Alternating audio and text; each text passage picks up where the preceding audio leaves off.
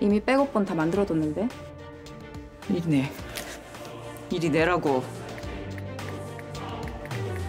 그래봐야 소용없어 이미 유진 씨한테 보냈거든 뭐?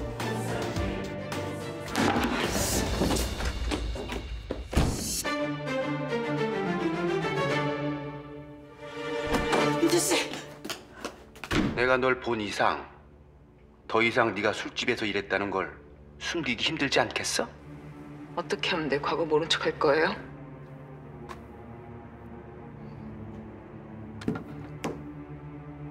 너 진짜 술집 여자였어?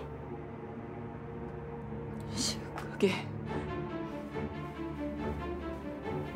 그럼 그동안 날 감쪽같이 속인 거야? 그런 과거를 가지고 YJ 그룹 안주인 자리를 탐냈어? 잠깐. 그럼 너 원신턴에 나왔던 건 어떻게 되는 거야? 그것도 설마 무슨 소리 하는 거야? 그건 이미 다 확인했잖아. 고등학교 때 부모님 돌아가시고 어쩔 수 없이 잠깐 잠깐 일했던 거야. 유학자금 마련하느라. 유진 씨, 제발 손대지 마. 더러워. 뭐?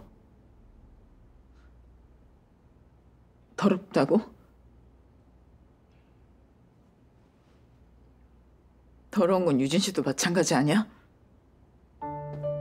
뭐? 오세현 일 잊은 건 아니겠지? 너 지금 나 협박하는 거야? 근데 그건 네가 죽인 거잖아. 난 목격자일 뿐이었어. 사람들도 그렇게 생각할까?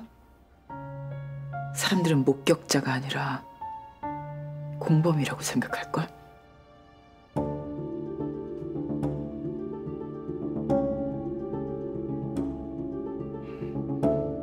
그래. 어디 한번 해봐. 뭐? 그거 까면 너나 나나 다 죽는 거야. 근데 난 YJ 그룹 후계자거든. 네가 그렇게 YJ 그룹 만주인자를 탐냈던 그 YJ 그룹. 오늘 엄마 아버지가 날 범죄자 되게 놔둘 것 같니?